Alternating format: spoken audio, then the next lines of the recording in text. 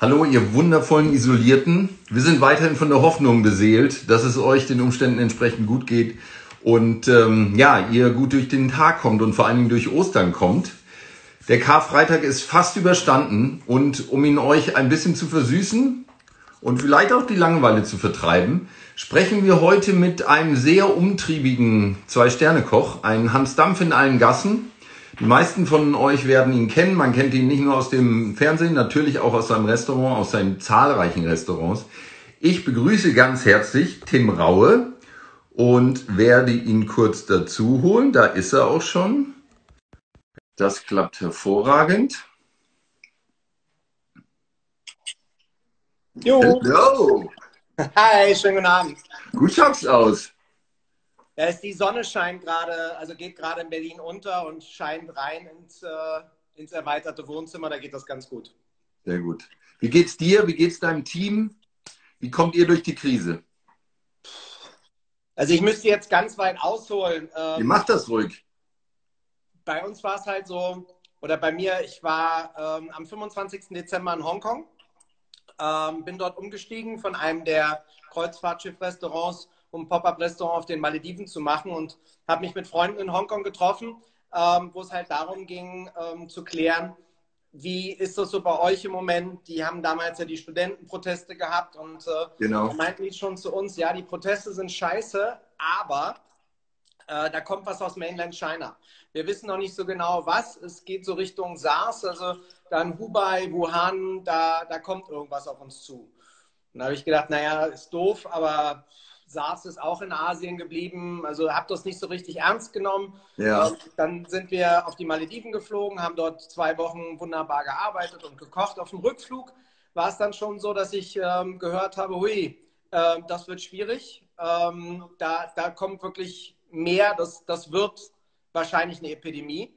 Und ähm, obwohl mir dann klar geworden ist, dass, das, dass uns das beeinflussen wird, habe ich trotzdem nicht geglaubt, dass es so schwer und so schlimm wird, ähm, aus menschlicher Sicht, aber natürlich auch dann tatsächlich aus wirtschaftlicher. Und ähm, wo es dann tatsächlich losgegangen ist, ähm, war es bei uns halt von Anfang an so, dass wir gesagt haben, solange die Behörden uns die Möglichkeit geben, zu arbeiten, zu kochen, ist es für uns absolut klar, dass wir das machen, weil wir ähm, als, als Gastronomie ähm, und als Restaurateure und als Köche und, und ähm, Kellner die Idee ja schon immer haben, sozialen Beruf zu haben. Das heißt, wir machen etwas für andere. Ähm, und auch wenn es nicht überlebensnotwendig ist, also es Essen ja schon, aber auf unserem Niveau jetzt nicht, da geht es eher um den, um den kulturellen und Genuss, ist das ja. unser Job. Und dann ging es natürlich um die Frage, was machen wir? Und wir haben uns schon sehr früh äh, klar gemacht, dass wir ähm, Alternativen im Kopf haben wollten. Und, also ihr äh, wolltet euch auch erstmal nur auf Mittagsservice konzentrieren, oder wie? Naja, das mit dem Konzentrieren war ja dann schnell vorbei. Also ja, eben. Nein, wir, wir, haben sofort darüber gesprochen, was können wir überhaupt mit dem Restaurant machen? Was können mhm. wir leisten? Ähm, wenn, welche Einschränkungen stehen zur Frage? Ne? Das war klar, äh, sie werden uns einschränken. Sind wir überhaupt in der Lage, äh, nur 50 Leute im Restaurant zu sein? Dann musst du das ja juristisch abklären. Sind mit 50 Personen 50 Gäste gemeint oder Gäste plus ähm, Service? Ist die Küche ein abgeschlossener Raum, wenn der eigentlich offen zum Gastraum ist? Ähm, das sind, sind, ja relativ viele Faktoren. Und ähm, ja. das Allerwichtigste natürlich sofort, wie liquide sind wir? Und ähm, das war einer der ersten Schritte, die wir gemacht haben, tatsächlich sofort bei der Bank anzurufen und zu sagen, so, wie sieht es denn aus? Und dann hieß es, gar kein Problem, was brauchen Sie? Und dann haben wir gesagt, Sie kennen unsere Liquidität, wir möchten einfach sechs Monate ähm, auf der hohen Kante haben. Und dann hieß es, gar kein Thema, kriegt ihr. Und okay. äh, Marie, meine, meine Geschäftspartnerin, hat sich dann sofort in das Thema reingearbeitet und hat gesagt, komm, wir gucken mal, dass wir da ganz weit vorne sind, dass wenn das eine Relevanz hat, dass das realisiert wird. Und dann haben wir schon eine Woche später gemerkt, äh, dass es schwieriger wird ähm, bei den Banken, von den Behörden. Ähm, wir haben natürlich auch den einen oder anderen Politiker zu Gast gehabt, der dann schon gesagt hat, also es werden auch auf uns ähm, tatsächlich Maßnahmen zukommen, die wir jetzt nur zum Beispiel in Österreich schon sehen. Und ja. da haben wir dann schnell so ab März einen Blick auf Österreich gehabt. Was kommt da auf uns zu? Wie reagieren die? Und was könnte das für uns bedeuten? Lass uns noch mal einen Schritt zurückgehen, damit wir überhaupt verstehen, wie aktiv du bist und wo du aktiv bist. Also du hast natürlich dein Hauptrestaurant, Was gibt es sonst noch an Outlets, die du betreibst oder wo du involviert bist? Naja, das, das Restaurant Tim Raue äh, betreibe ich zusammen mit, mit Marie Raue, die auch dort die geschäftsführende Gesellschafterin ist. Und ähm, ich habe dann noch mit der Raue Consulting neun weitere Restaurants, im Endeffekt auf, auf fünf Kon oder vier Konzepten basierend. Und ähm, wir haben halt in der Schweiz The K in St. Moritz, was wir zum Beispiel auch vier Wochen vor dem Service, eigentlich Saisonserviceende äh, dann zugemacht haben. Wir haben die, äh, die Hanami bei Tim Rau auf den vier Kreuzfahrtschiffen. Ähm, die haben relativ lange durchgehalten, bis dann tatsächlich weltweit die Häfen zugemacht haben mhm. und überall die Schiffe geleert werden mussten und alles zurückgeflogen wurde. Und das ist auf mein Schiff, richtig? Tui mein genau, Schiff. Genau, auf der Tui mein Schiff.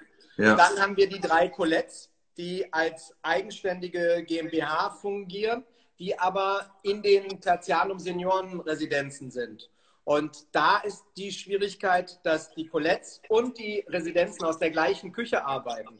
Das ist ansonsten hervorragend, oh, was, oh, ja, ja, was ja. Kosten- und Nutzenfaktor definiert.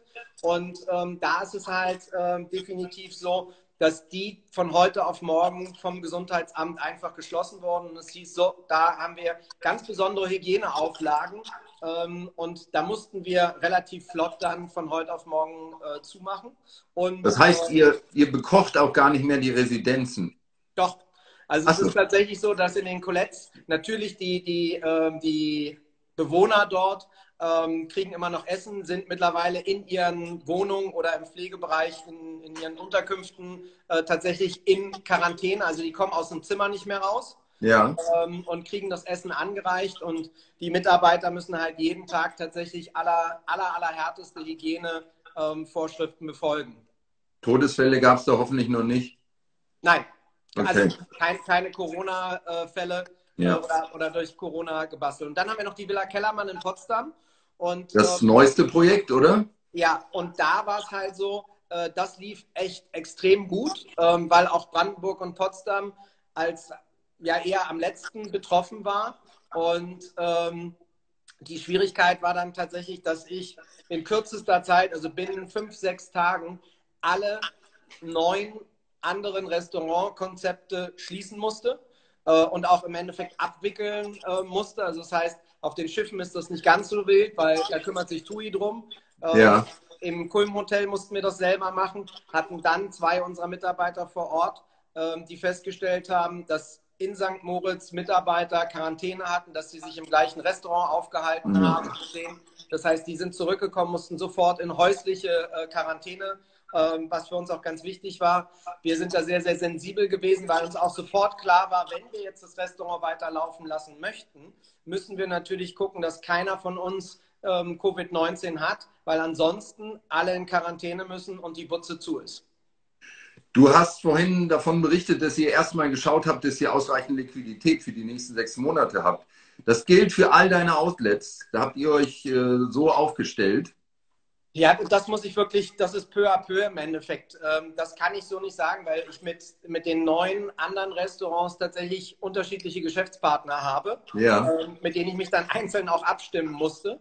Und ähm, da gibt es unterschiedliche Herangehensweisen, wie man mit den Mitarbeitern umgehen kann, wie man das handeln kann. Wir haben in den deutschen Betrieben überall Kurzarbeit, in der Schweiz, wie gesagt, auch aufgrund der Saison geschlossen. Ähm, auf den Schiffen wird das alles ähm, von, von Sea-Chefs gehandelt und von TUI. Äh, da bin ich jetzt nicht in, das, in, die, in die Daily Operation involviert. Also das heißt, da mache ich keine Einstellung, ähm, sondern da bin ich im Endeffekt so einen halben Schritt raus aus der Administration. Aber das Wichtigste, das Herzstück von allem ist natürlich das Restaurant Tim Raue. Und ähm, da habe ich mit, mit Marie jeden Tag zusammengesessen, um darüber zu sprechen, was sind das für Gedanken, die wir haben, welche Möglichkeiten haben wir. Wir haben uns dann relativ flott zum Beispiel auch damit auseinandergesetzt, was ist, wenn wir komplett schließen, was bedeutet das? Dass alle Mitarbeiter auf Kurzarbeit gehen, ja, das funktioniert. Bedeutet aber auch, wenn du, und das vergessen ganz viele, wenn du Kurzarbeit ähm, in Anspruch nimmst, dass du tatsächlich, wenn du wieder aufmachst, also wenn die Krise zu Ende ist und wir in die Operation oder in die in das Operative zurückgehen, dass äh, du diese Mitarbeiter, wenn du sie kündigst, dann tatsächlich dem Staat das Kurzarbeitsgeld zurückzahlen musst und den Mit äh, Mitarbeitern den 40-prozentigen Gap. Ähm, Kurzarbeitsgeld ist dafür wirklich gedacht, um jetzt temporär den Mitarbeiter zu Hause stillzulegen, die Kosten zu ja. Und ähm, wir können davon ausgehen, wenn wir wieder aufmachen, dass wir natürlich, also wir auf jeden Fall im Hauptrestaurant nicht, nicht annähernd das Business haben wie davor, weil wir leben von den Gästen mindestens zu 60 Die Reisen, international, ja. Die, die Reisen. Ja. Und ähm, auch da wieder gucken wir nach Österreich, sehen wir, dass Kanzler Kurz gesagt hat, also Reisen ohne dass man eine Dokumentation hat, dass man negativ ist oder immun ist, das könnt ihr erstmal knicken. Und das bedeutet für uns, dass wir jetzt nicht nur den April und den Mai sehen, sondern auch noch den Juni, Juli und August wahrscheinlich abschreiben müssen in der Höhe. Und ähm, das Erste, was aber auch Marie gesagt hat, ist, wenn, wenn man in dem Moment jetzt wo wir die letzten Jahre so auch um unsere Mitarbeiter gekämpft haben. Wir wissen ja alle in der Gastronomie, wie, wie hart das war, tatsächlich ja. Mitarbeiter zu rekrutieren. Wenn wir die jetzt haben, dann geht es auch darum, solidarisch zu sein.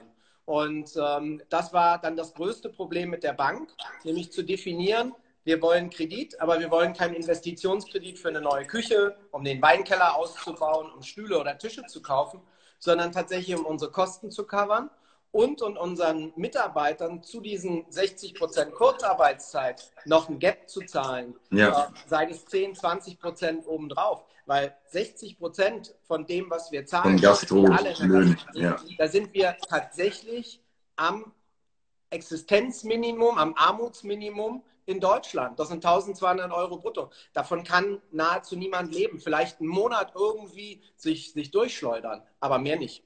Zumal sich die Mieten ja nicht reduzieren. Stichwort Miete. Konntest du mit deinen Vermietern irgendwelche Dealstundungen oder sowas aushandeln, weil das ja essentiell ist für ganz viele Restaurants? Äh, ehrlicherweise ist das ein Thema für nächste Woche, weil ähm, das Erste, was dann, wie gesagt, kam, war, ähm, wie, wie werden wir jetzt weiterarbeiten? Und wir haben dann in Berlin die behördliche Änderung gehabt, dass es darum ging, erstmal, du durftest dann mittags aufmachen. Das war genau. klar, dass das nur ein temporärer Faktor ist, war ja auch nur eine Woche. Äh, das haben wir versucht. Ähm, wir hatten da schon natürlich brutalen Umsatzeinbruch von so circa 60 Prozent. Ähm, aber es sind noch Gäste gekommen und die, die gekommen sind, ähm, den hat man auch angemerkt, dass ihnen bewusst ist, dass sie, dass sie da etwas genießen, was noch hinhaut. Wir haben dann natürlich auch den, auch da haben wir Glück, dass wir unterschiedliche Platzverhältnisse im Restaurant haben. Also das heißt, wir können an, auf drei Ebenen insgesamt mit diesem 1,50 Meter Abstand immer noch 40 bis 45 Gäste bearbeiten und ähm, dass das hinhaut. Und dann war auch klar, es muss irgendwie weitergehen. Und wir haben dann natürlich um uns herum schon gesehen, ähm, wo, wo die Reise hinging. Wir haben sehr schnell in Berlin, was ich ganz großartig finde, einen Zusammenschluss der, der Gastronomen gehabt. Ähm, da gab es so die, die Grundeinstellung ähm, von der Gemeinschaft, die so vom Horvath, Billy Wagner, dem Ernst getragen ist.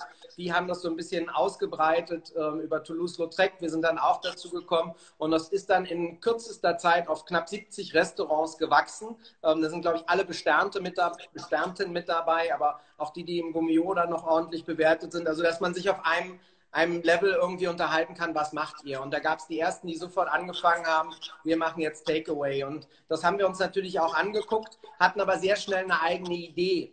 Und glücklicherweise habe ich vor zwei Jahren ähm, eine, eine Möglichkeit gehabt, ähm, ein, na, wie soll ich das sagen, veganes Essen zum, das verschickt wird, als Konzept zu machen mit Pure Delight in München. Mhm. da hatten wir ähm, in der Projektarbeit schon so ein bisschen verstanden, was funktioniert und was funktioniert nicht. Also das normale Lieferkonzept ist ja, du hast eine große Plattform, da stellst du dein Restaurant drauf, ähm, dann machst du Kochi Kochi, es ruft jemand an über die Plattform oder gibt es ein und sagt, ich hätte gerne Pizza, zweimal Schafskäsesalat und eine, eine, eine Coke und Yalla.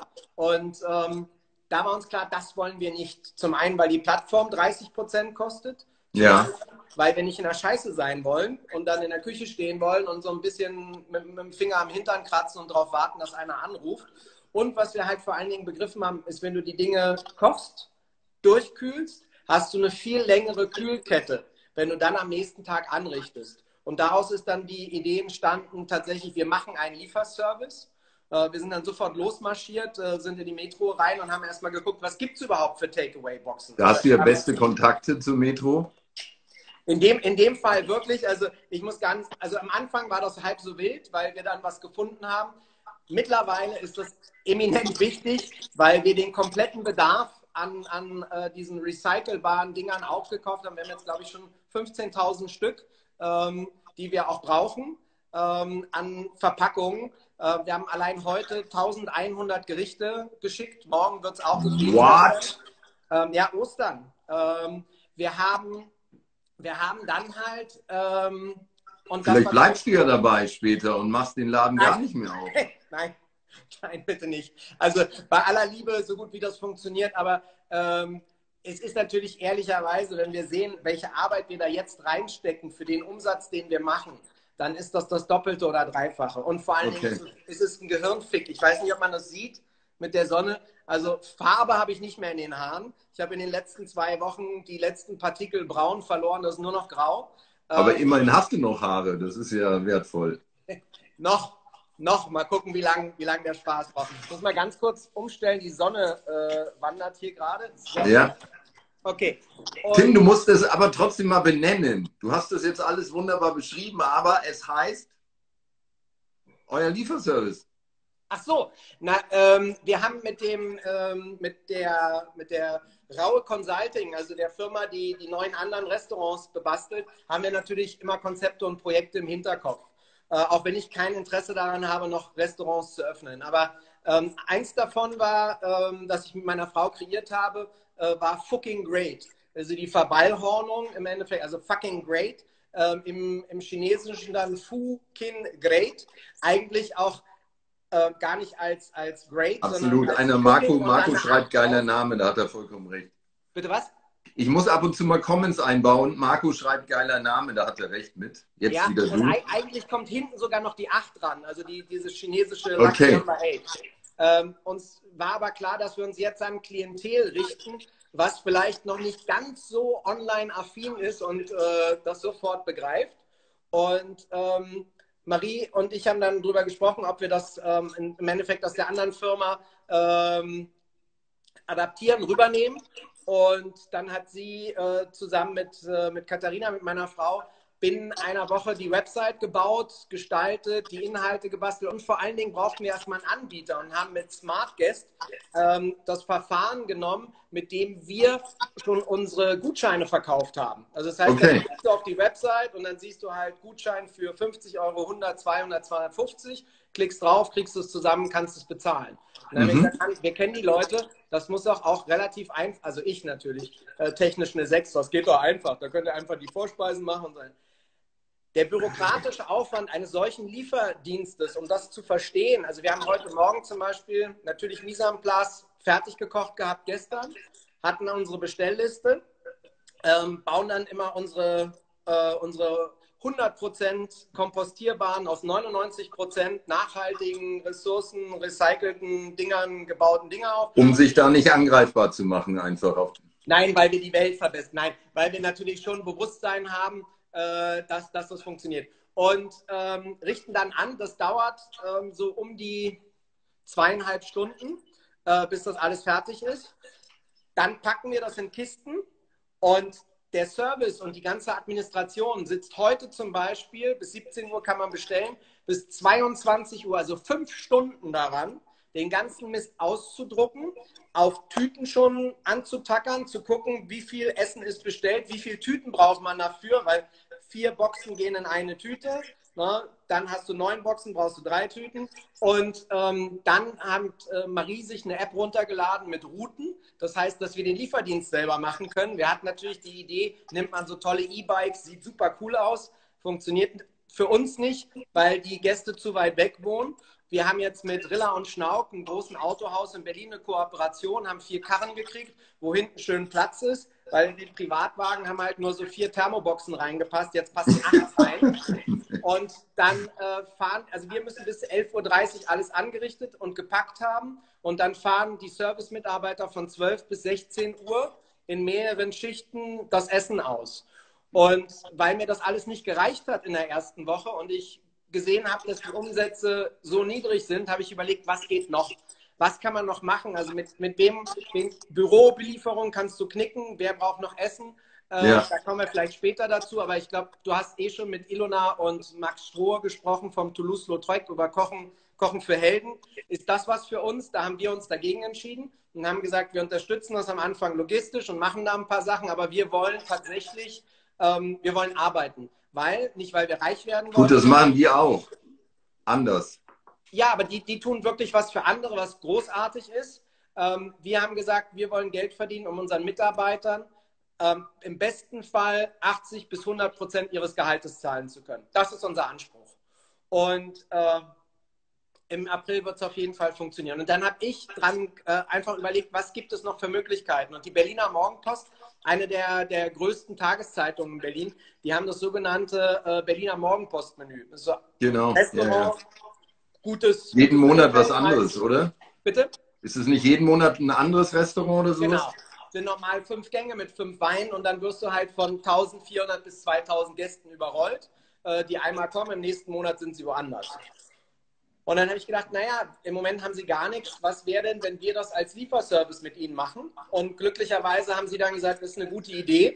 Und äh, wir haben das binnen drei Tage wirklich dann auch noch mit der heißen Nadel gestrickt, da auch Wahnsinn. eine Landingpage gebaut und so. Und haben aber da jetzt auch schon ein paar hundert Menüs mit inkludiert. Und ähm, das ist natürlich für, für den, für den Gesamttraffic, den wir haben, also für die gesamte Auslastung dessen, was wir leisten, sehr, sehr gut. Ich habe noch ein paar Fragen zum Verständnis. Findet das alles, Punkt 1, findet das alles bei dir im Restaurant statt? Auch das Anrichten, habt ihr das Restaurant ausgeräumt? Wie kann man sich das vorstellen? Wie sind da die Abläufe? Ich bin kein großer Freund davon, große Änderungen vorzunehmen. Also wenn ein Konzept und ein System stimmt, das heißt, in der Küche sind die Posten immer noch gleich. Ähm, wir haben erstmal, das war ja für uns das Allerwichtigste, warum fucking great? Also warum haben wir uns, warum haben wir nicht gesagt, wir, wir liefern vom Restaurant Tim Raue? Weil wir uns natürlich klar waren, dass das, was wir im Restaurant machen, können wir nicht in eine Pappschachtel packen und einfach wegschicken und sagen, kocht das zu Hause. Damit machen wir uns unglaubwürdig. Das kann ja. keiner. Das ist so, als würdest du äh, Formel 1 Wagen fahren und ab morgen sagen, ich habe jetzt keinen Formel 1 Wagen mehr, ich nehme einen alten Cinquecento und gehe auf die Rennstrecke und fahre mal mit.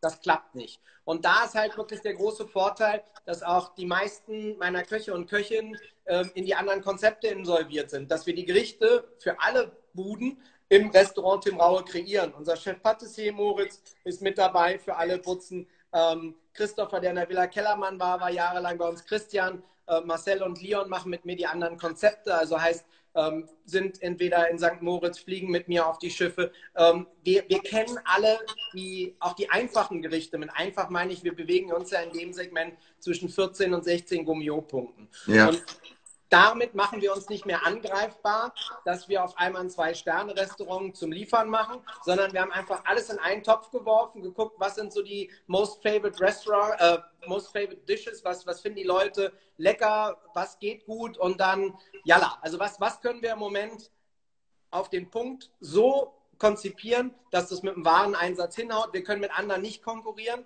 auch aufgrund unserer, äh, unserer Kostenstruktur bei den, bei den Mitarbeitern. Das heißt, wir können nichts für 12 Euro rausfeiern. Das ist auch Quatsch, das würden wir nicht machen. Und ähm, haben das dann im Endeffekt aufgesetzt. Und ähm, haben auch relativ schnell justiert. Es waren natürlich schnell Gerichte dabei, wo wir gemerkt haben, das geht nicht. Wir haben uns auch von anderen, die wirklich großartige Arbeit leisten, ähm, Pakete schicken lassen, haben dann gesehen, boah, da ist irgendwie eine Flut von Vakuumbeuteln. Da musst du zwei oder drei Leute den ganzen Tag runterstellen, die sind nur am Vakuumieren. Davon ja. abgesehen, dass wenn du zwei Kilo Essen und 500 Gramm Plastik kriegst, ist jetzt auch nicht die intelligenteste Nummer.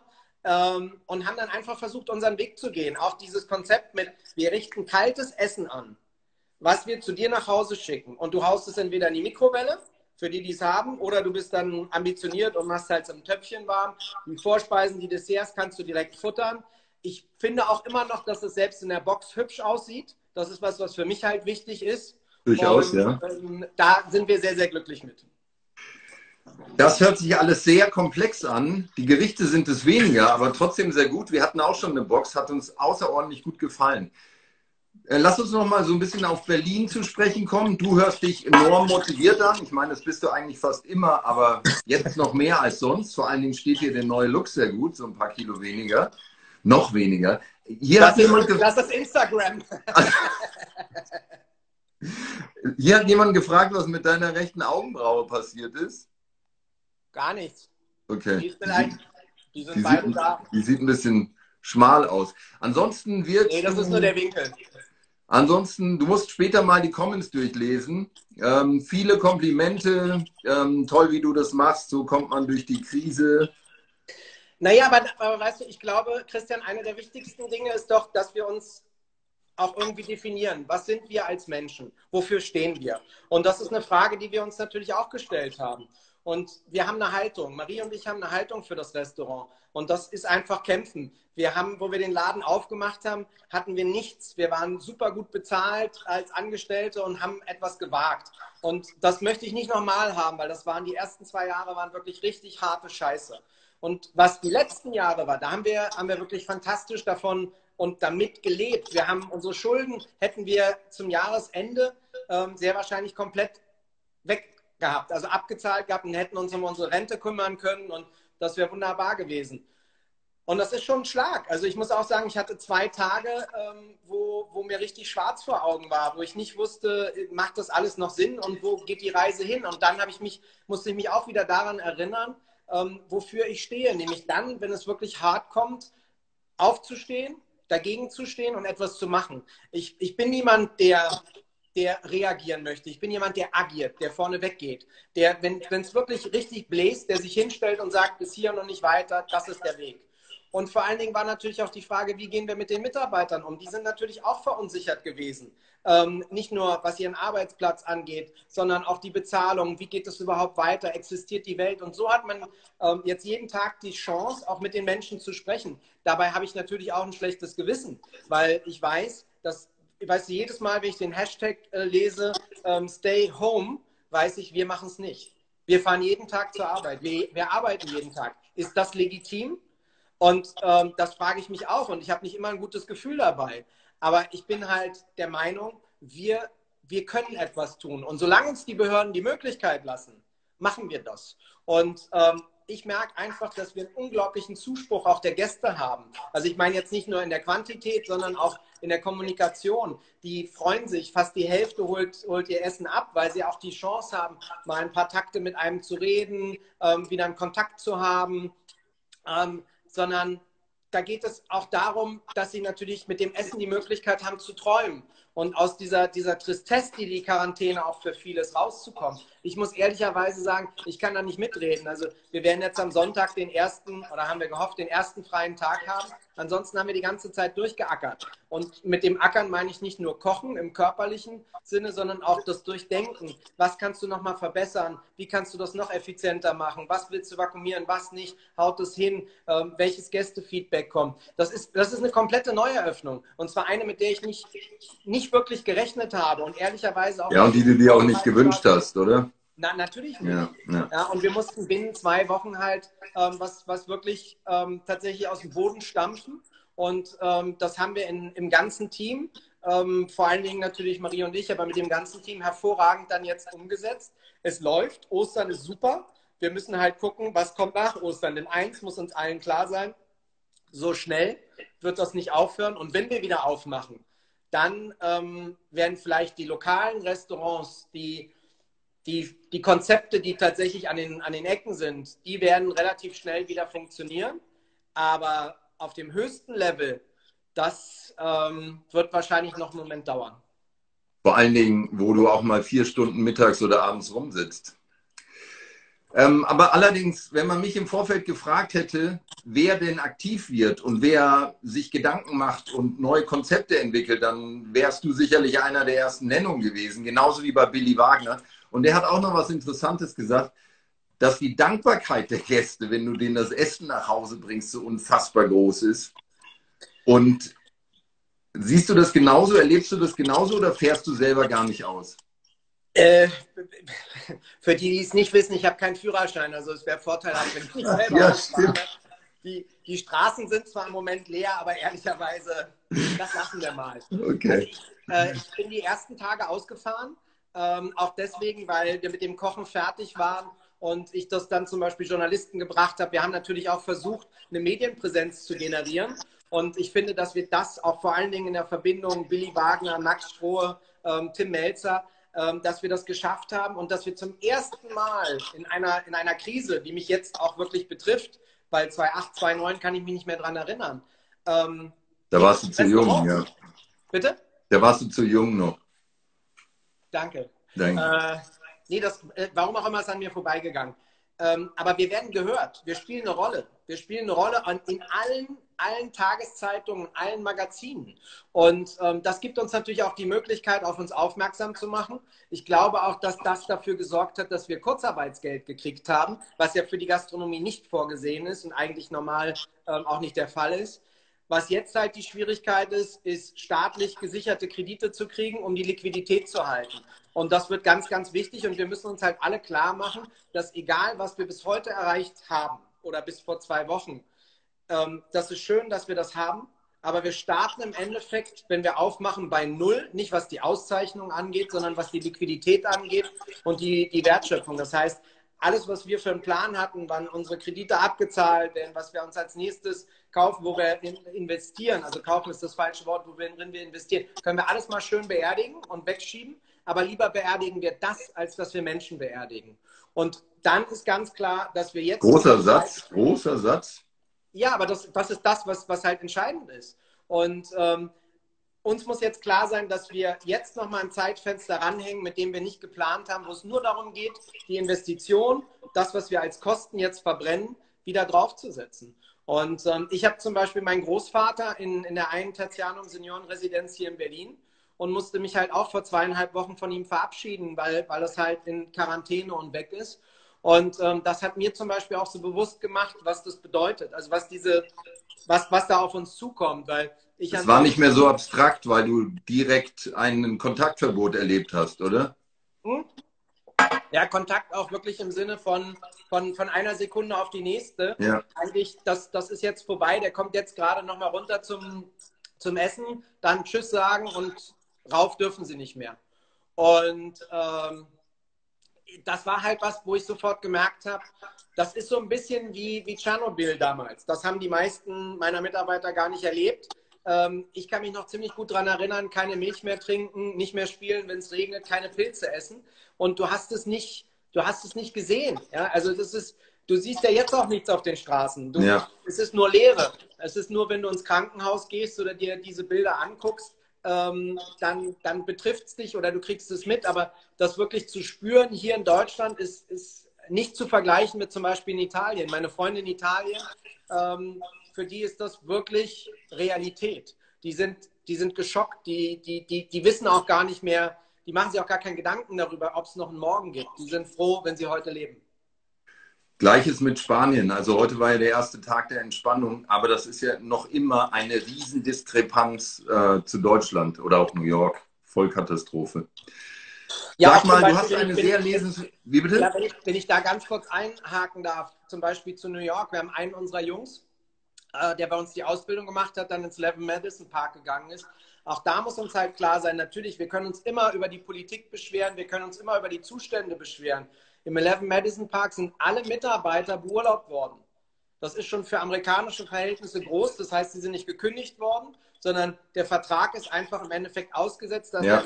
zu, dann wird auch niemand mehr bezahlt und dann ist Feierabend. Und wer nicht amerikanischer Staatsbürger ist, der kriegt überhaupt gar keine, keine Hilfeleistung. Der hat nichts.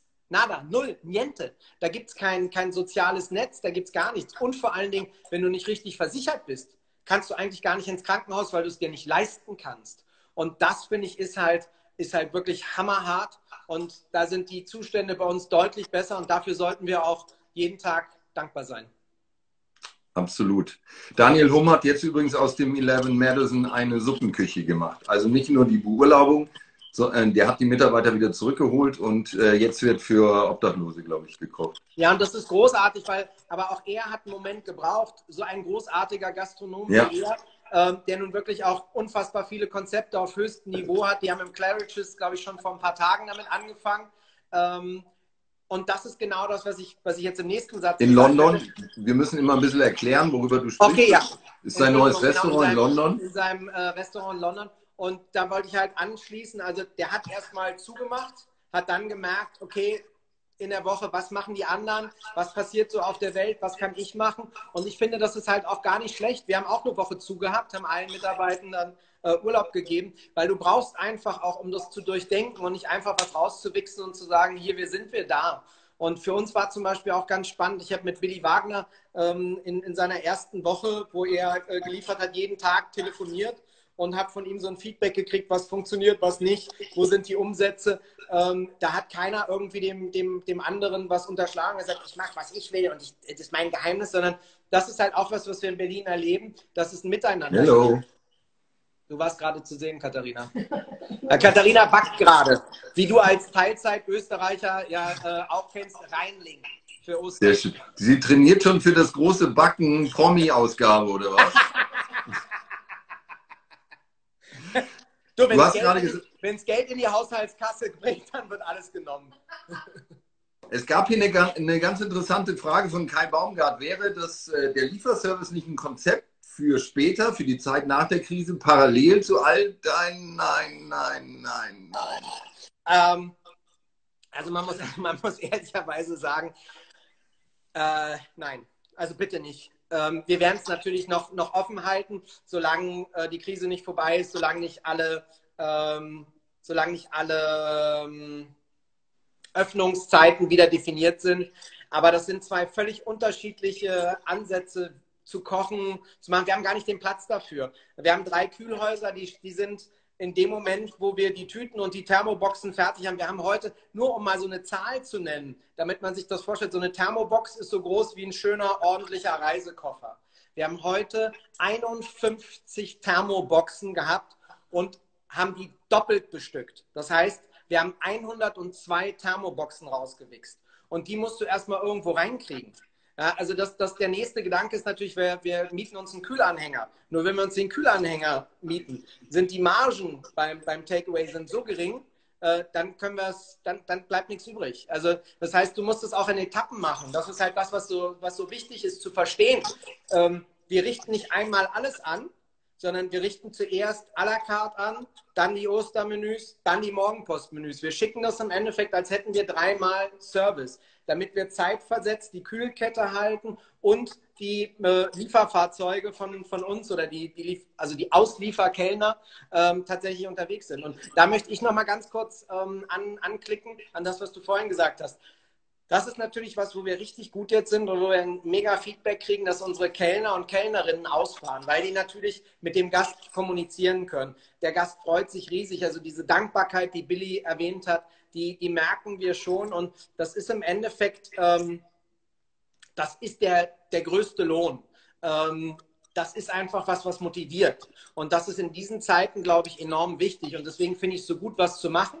Äh, wir haben zum Beispiel Max Stroh und äh, Ilona ähm, besucht in, in ihrem ähm, Toulouse-Lautrec, ähm, auch mit dem Fernsehteam und haben uns das angeguckt. Und du merkst einfach, wenn du kochen darfst, und das ist dann egal, ob es ein, ein, kleiner Teller mit, mit Piki Piki Chiki Chiki ist oder ob es halt einfach ein Topf ist mit 60 Liter Gulasch.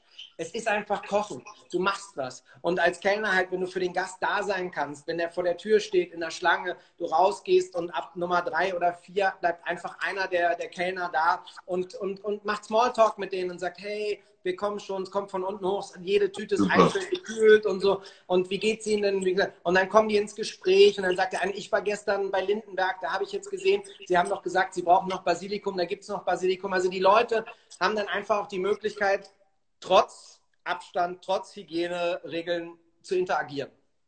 Es gab noch eine Frage, ich, äh, die ist jetzt schon ein bisschen her, ob sich dieser Takeaway überhaupt lohnt, weil normalerweise habt ihr ja die größte Marge auf Getränke. Also gibt es Wein beim Takeaway oder habt ihr ja. das? Okay. Also wir bieten Wein an, aber ehrlicherweise ist das im Verhältnis zum Essen ähm, relativ gering, also könnte besser sein. Ähm, dementsprechend äh, sprechen wir halt von, von sehr, sehr geringen Margen, die wir machen. Ähm, aber wir machen was. Also wir machen Umsätze. Wir sind äh, an den Tagen von Montag bis Donnerstag äh, haben wir so 30, 25 bis 30 Prozent des Umsatzes von normal. Und äh, jetzt am Freitag und Samstag sind wir so bei 80 Prozent von normal. Nicht schlecht. Also wenn ihr euch da irgendwie konsolidieren könnt dazwischen. Ich meine, was wäre denn auch die Alternative? Die sich der Lähmung an, anheimgeben und zu viel saufen zu Hause, es geht ja nicht. Du musst ja auch nach vorne schauen. Du hast eine Verantwortung dann, okay. du hast eine Verantwortung deinen Mitarbeitern gegenüber und äh, ich finde, du machst genau das Richtige. Wie viele übrigens in Berlin? Ähm, ich, also die Verantwortung haben wir, tragen wir alle, wir tragen sie unterschiedlich. Ich finde auch nicht, dass man jetzt irgendjemandem Vorwurf zu machen hat. Ja, also wenn du, wenn du zum Beispiel irgendwo angestellt bist als Küchenchef. Auf keinen Fall. Also und dein, dein Hotelier muss die Bude zumachen, dann, dann ist das so, dann kannst ja. du nichts machen. Ähm, dann kannst du halt auf Instagram kochen. Das habe ich zum Beispiel für mich komplett äh, erledigt und habe gesagt, das ist einfach nicht meins, das will ich auch nicht. Ja, vor allen Dingen äh, wann? Bitte? Vor allen Dingen wann? Ja, davon mal ganz abgesehen, aber ähm, das, das, das, das, bin ich einfach nicht. Und ähm, ich finde halt, wenn du die Möglichkeit hast, dann guck, was du machen kannst. Und es geht halt auch nicht darum, ähm, nur starr auf deinem Programm zu beharren. Also ich habe jetzt äh, durch Berlin war aber auch so ein Zeug, die, ähm, was haben, die sind auch relativ ordentlich bewertet. Mrs. Robinson heißt das Restaurant. Ähm, die kochen normal, auch wirklich ambitioniert und gut. Und die machen jetzt Sandwiches so aus japanischem Brot, Sandwiches und ähm, ich höre überall nur, du musst das Eier-Sandwich von denen essen, das ist so wahnsinnig geil, es lohnt sich da hinzufahren und das Eier-Sandwich zu essen. Und auch das ist natürlich eine Möglichkeit, dass du etwas kreierst, was es vorher nicht gab und was dann, was dann ein Hype im Endeffekt ähm, ja, dir gibt, dass die Gäste zu dir kommen. Ne? Ja, es ist schon faszinierend, wie schnell sich nicht alle, aber wie, wie schnell sich einige Leute assimilieren können an die Situation und das Beste daraus machen. Wir haben hier noch einen sehr, sehr schönen Kommentar von Lars, äh, kann ich nicht lesen. Krass, wie schnell du sprichst, ergo schnell denkst, weil kein Quatsch rauskommt. Gut, das war auch mal anders. Hol, holst du mitunter auch durch den Po-Luft, ist die Frage. Das weiß ich nicht, aber also nein, das ist Exit only. Äh, ja, es ist mit Sicherheit eine meiner Fähigkeiten, dass ich äh, genug Energie und Kraft habe, um, äh, um tatsächlich was, was zu stemmen. Aber wie gesagt, nochmal, auch in, in meinem Fall, ich bin nicht so optimistisch gewesen wie du der gesagt hat, oh, wenn einer irgendwie, dann Tim Raue macht da was. Äh, so ist das nicht. Also ich stehe da auch morgens auf und denke mir, schlag die Hände beim Kopf zu denken, was für eine verfickte Scheiße, Alter. Warum kann dieses Leben, was wir uns so hart erarbeitet haben, die Gäste ja. bekommen, die ganzen Auszeichnungen, warum kann das nicht einfach bitte weitergehen? Das ist doch großartig. Was für eine Scheiße. Ähm, mir bleibt und es gibt kein, nicht, keinen großartigen Schuldigen in der Sache. Außer vielleicht die Wet Markets und den Umgang mit Live-Feed, aber du kannst keine einzelnen Personen hinzuziehen und sagen, okay, I blame you. Nein. Und äh, da gibt es dann auch unterschiedliche Möglichkeiten. Es gibt ja auch im Moment genug Frustration auf diesem Planeten, die vor allen Dingen in den sozialen Medien großartig ausgelebt wird, wer alles schuld ist und wer, wer ein Wichser ist und wer, wer Mist gebaut hat. Jeder, der schon mal in China im Wet Market war, der wundert sich jetzt nicht unbedingt darum, ähm, ist. Ich habe was ganz Lustiges auf WhatsApp gekriegt, ich glaube vor drei Tagen oder vier Tagen. Ähm, diese Kommunikation zwischen einem Verkäufer der, der Fledermaussuppe im Wet Market in Wuhan, der sagt irgendwie so, also der Kunde sagt, ich hätte gern eine Fledermaussuppe für Takeaway. Und der Verkäufer sagt, du, das, die braucht noch drei, vier Minuten, bis die Fledermaus durch ist. Und dann sagt der Käufer zu ihm, ach komm, leck mich am Arsch, das wird schon nicht die Welt verändern, gib's mir. Und ähm, schick mir es mal bitte. Im Endeffekt ist es, ist es, wir wissen nicht, ob es so gewesen ist. Ähm, ich glaube, wir müssen uns einfach bewusst machen, dass ein paar Entwicklungen, die wir auch schön beiseite geschoben haben in den letzten Jahren, da nehme ich mich gar nicht mit aus. Ich habe ja auch Jahre gebraucht, bis ich mich mit veganen, hey, mein Freund Stefan Strumbel ist gerade dabei, sehe ich. Also ich gucke jetzt auch hier da drauf, was, was so für Gesichter. Ja, jetzt konzentriere dich mal wieder aufs Po-Atmen. Weiter jetzt. Entschuldigung. Ähm, dass wir, dass wir sowas wie vegan beiseite geschoben haben. Ja, war ich auch ganz weit vorne, habe die Leute ja. geblamed und habe gesagt, ihr seid alle kleine Scheißer und so. Und ich glaube, da hast du auch schon mal welche rausgeschmissen früher. Kann das sein? Nein, aber wir haben ihnen nicht das Gefühl gegeben, dass wir sie als Gäste gerne hätten. Das ist ja schon hart genug. Und ähm, wir, das ist ja auch was, was bei uns komplett ähm, eingeschlagen hat, ähm, von, von vegetarisch auf vegan. Ähm, aber jetzt zurück dazu, was wir halt alles an Scheiße bauen. Wir müssen uns halt einfach klar machen, dass die Art und Weise, wie wir mit Tieren zusammenleben, wie wir konsumieren, das funktioniert nicht mehr. Wir brauchen jetzt auch nicht mehr äh, Greta Thunberg an, ans Bein zu pissen, dass sie uns zu viel ist, sondern uns muss einfach klar sein, wir haben es völlig überzogen in den letzten fünf bis zehn Jahren. Wir haben wie im verfickten Rausch gelebt. Wir sind geflogen, wir haben die Kohle rausgekriegt. Höher, schneller, weiter. Wir haben uns Pullis, die in der Herstellung in Vietnam, also Hoodies, 3 Euro kosten, gab es beim H&M für 20 Euro und wenn irgendeiner Yucci oder Balenciaga draufgeschrieben hat, hat das Scheißding 1500 gekostet. Wir haben Spannen kreiert, die noch nicht mal der Drogenhandel kennt. Und da muss man einfach klar sein, irgendwann, und das weiß jeder, der ein bisschen älter ist und der ein paar Erfahrungen gemacht hat, und da ist, stimmt die alte Weisheit, der Krug geht so lange zum Brunnen, bis er bricht. Bis er bricht. Und jetzt ist er gebrochen.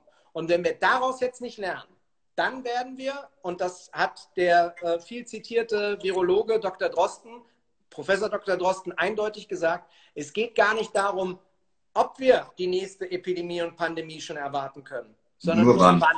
Ja, exakt. Und genau daran, daran müssen wir uns messen lassen. Der kriegt übrigens 50 Heiratsanträge pro Tag.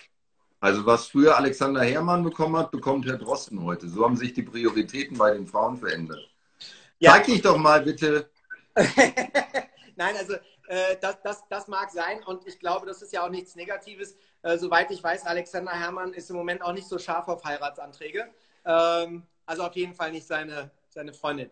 Und ähm, das, das ist, glaube ich, auch was, was wir uns klar machen müssen. Der hat aber auch zum Beispiel gemerkt, dass auf einmal eine Öffentlichkeit, also eine Person des öffentlichen Lebens zu sein, nicht nur Spaß macht. Ganz klar. Hast du ja schon vor Jahren berichtet. Du warst gerade beim Krug, der so lange zum Brunnen geht, bis er bricht. Ähm, Stichwort Krug, du bist ein großer Krugfreund. Wir wurden jetzt ein paar Mal gefragt, was wir trinken. Also ich trinke Wasser, zwei Tage alkoholfrei, weil am Sonntag wieder großes Teletrinken ist und Tim auch. Ja, es sei, es sei denn, es Wodka oder sowas. Kann ja auch alles sein. Tim, das war hochinteressant, dieser Themenkomplex. Bitte? Ich würde gerne nochmal auf deine ja. TV-Aktivitäten zu sprechen kommen, weil auch schon ein paar nachgefragt haben. Wie ist da der Status? Gefilmt wird wahrscheinlich nicht mehr viel. Was gibt es für Formate? Naja, also ich habe mit Melzer am Anfang der Woche jetzt gefilmt. Ich weiß, was ist heute für ein Tag? Irgendwie Ende der Woche, ne? Freitag? Freitag, Karfreitag ist heute, ja, könnte ah, man okay. schon mal wissen. Ja, sorry. äh, ich bin Atheist. Also ja, ich auch. Ich bin Agnostiker. Das ist noch schlimmer. Ja, ähm, allerdings. Wir haben am Montag und Dienstag ähm, was Neues für Kitchen Impossible versucht. Wir haben halt einfach so diese, diese Nummer, weil wir halt tatsächlich nicht reisen können. Das auch nicht, äh, dafür gibt es auch keine Ausnahmegenehmigung. Äh, wir haben uns hingesetzt und haben drei Folgen jetzt gedreht, die 25 lustigsten Kitchen Impossible Momente, die 25 emotionalsten und die 25 größten Ausraster. Und äh, haben das nochmal kommentiert. Äh, das ist natürlich im Endeffekt Konservenfilm. Ja. Ähm, aber das Fernsehen braucht auf jeden Fall äh, was, was es senden kann. Äh, Vox zum Beispiel hat uns ähm, mit Ready to Beef mit der zweiten Staffel in, auf TV Now oder hat uns an TV Now verkauft, ähm, weil sie halt gedacht haben, das ist so für die jüngere Klientel und tralala. Ich glaube, ähm, da, geht es, da geht es darum, dass das wirklich ins lineare Fernsehen zurückkommt. Ähm, die nächste Staffel, The Taste, ähm, steht vor, vor, vor der Produktion, äh, ist verschoben worden. Ja. Aber, dass wir das im Sommer machen können. Ähm, ich glaube auch, dass das mh, ein wichtiger Faktor ist. Also die Leute gucken natürlich im Moment auch viel Fernsehen und, und können sich damit ablenken. Das wird aber, oder Fernsehen ist für mich ja nur ein Zubrot. Also Fernsehen habe ich nicht, habe ich jetzt nicht in meinem Leben verankert. Wenn es das gibt, ist es schön und wenn nicht, dann ist es weg. Das Wichtigste ist das Restaurant im Raue und weil das auch die Basis für alle anderen kulinarischen Konzepte ist, weil da die Menschen herkommen, die dann die anderen Restaurants führen, die die Philosophie aufgesaugt haben und die auch den, das kulinarische Verständnis haben. Wir können hier gleich nochmal anknüpfen. Bei den größten Ausrastern dürfte auch Tims Ausraster in Marokko dabei sein, schreibt Lafi 73. Was ja, ist da ja. passiert? Ich bin da nicht, ich, ich schaue das leider nicht. Äh, ich schaue es nicht. Ähm, naja, in Marokko musste ich auf so einem ganz riesigen Markt in Marrakesch kochen. Da hast du eine Butze neben der nächsten. Und du warst ja schon bei mir in der Küche. Du weißt ja, eine der schönsten äh, Momente für mich ist Stille. Und auf diesem Markt ist halt, jeder Marktstand hat fast die gleichen Gerichte. Ähm, dann laufen Tausende von Gästen dadurch und wenn sich ein Gast in einem der Marktstände hinsetzt, haben die alle so einen kurzen Jingle, den sie spielen. Irgendein Song, der sehr beliebt ist. Und dann alle, die an dem Stand schon sitzen und essen, alle, die da kochen und bedienen, singen diesen Song für 20, 25 Sekunden und sind am Klatschen und am Feiern. So, und ich stand halt schon mal da, um mich herum, so vier, fünf Stände, die wirklich Rambazamba gemacht hat. Ich war schon, also bevor irgendwie was mir komme, war ich schon schwerst genervt. Und ich hatte einen Stand äh, von einer Dame, Fatma hieß die, glaube ich, die ähm, ganz, ganz toll gekocht hat. Und zwar hat die so ein, so ein Lamm geschmortes gemacht von der Haxe und hat das in Stöfchen auf Holzkohle geschmort. Ist äh, gekommen, wie es kommen musste. Ich habe die scheiß Holzkohle nicht zum, zum Feuern, zum Anfeuern gekriegt. Ähm, um mich herum ständig Rambazamba. Dann gab es deutsche Touristen, die mich erkannt haben, die hinkamen, ah, Foto machen. Und irgendwann ist mir einfach dermaßen der Kragen geschwollen. Und die, die war ganz, ganz lieb, die konnte nichts dafür. Und ich habe halt irgendwann eine verfickte Scheiße und habe halt mit der Faust einfach auf den Scheißtisch gehauen. Und ähm, da habe dann gesagt, ich höre jetzt hier auf, ich breche ab, so ein Dreck. Und ich, das geht nicht, ich kann damit nicht kochen und bin dann einfach um die Ecke zu so einem ähm, kleinen Laden, wo man Töpfe kaufen konnte. Da war einfach die einzelnen Stöfchen dann leer gemacht, habe das in einem großen Topf geschmort, dann wieder in die Stöfchen gefüllt und, und serviert. Und Meta Hildebrand hat bis heute ein Traumata, äh, weil sie gesagt hat, das ist gegen die Regeln, das ist gegen die Regeln und ich habe damit gewonnen. Das ist die Schweizerin, oder? Ja. Ja, okay. Also, demnächst nochmal äh, drei Folgen von Kitchen Impossible, allerdings nur mit Kommentaren. Das Lustigste, das Emotionalste und was war das Dritte? Emotionalste, größte Ausraster, Ausraster. lustigste Dinger. Ausraster. Unbedingt anschauen. Tim, Aber das Wichtigste, das Wichtigste ist für die, die in Berlin leben, ne? www.timraue.com. Wenn man da drauf geht, kommt man auf fucking great und kann sich großartiges, wahnsinnig geiles, intensives Essen bestellen, was Spaß macht am Gaumen. Und tolle Weine. Wenn du richtig smart gewesen wärst, hättest du es äh, spiegelverkehrt aufgedruckt, dann hätte es auch jeder lesen können. Und da sieht man wieder, ich bin nicht perfekt. Meine technischen Wege. Gott sei Dank. Das macht dich menschlich. Tim, herzlichen Dank. Lesen? Nee, es ist spiegelverkehrt. Aber man kann schon lesen. Also das Gehirn stellt sich ja nach sechs bis sieben Tagen um, wenn es alles spiegelverkehrt liest. Tim, in diesem Sinne, vielen herzlichen Dank für die offenen Worte. Das war sehr kurzweilig. Wir hatten unfassbar viele Zuschauer. Ich glaube, du hast äh, Alexander Herrmann sogar geschlagen. Müssen wir gleich mal schauen bei der Gesamtanzahl. Wir hoffen beide, ich glaube, da spreche ich auch für dich, dass ihr wundervollen äh, Menschen dort draußen weiterhin gesund bleibt, gut durch die Krise kommt ab und zu nicht zu oft ein gutes Glas Wein trinkt, äh, nicht immer eure Frauen backen lasst, sondern das auch ab und zu mal selber macht und kümmert euch um, um eure Lieben. Wir äh, sehen uns morgen wieder um 19 Uhr, gleiche Stelle, gleiche Welle. Allerdings hat Thomas Dorfer gerade um eine Verschiebung gebeten. Das heißt, ich muss einen Ersatzmann für morgen rekrutieren. Sascha, Sascha Stemberg, du warst auch drin. Vielleicht können wir es morgen machen. Merci beaucoup und bleibt gesund. Ein wunderschönen ich habe mich zu bedanken und kann Sascha nur motivieren, ähm, weil der ja im Endeffekt auch mit seinem Papa ein sehr flexibles Konzept hat, wo sie unterschiedliche ähm, kulinarische Welten in, in, einer Küche, in einem Restaurant zusammenführen. Und sowas hilft natürlich im Moment. Ich kann nur allen, die Gastronomen sind, ähm, wirklich ans Herz legen, wagt was. Der Mutige, der wagt was, macht was, kann an die Wand fahren, ist im Moment sowieso Vollkommen eher, egal, ja. gut. Aber bevor er in der Ecke hängt, ähm, steht auf, geht raus, zeigt euch. Dafür sind wir Köche und Kellner und Kellnerinnen da. Schöne Worte. Tschüss, Einen wunderschönen Abend. Ciao.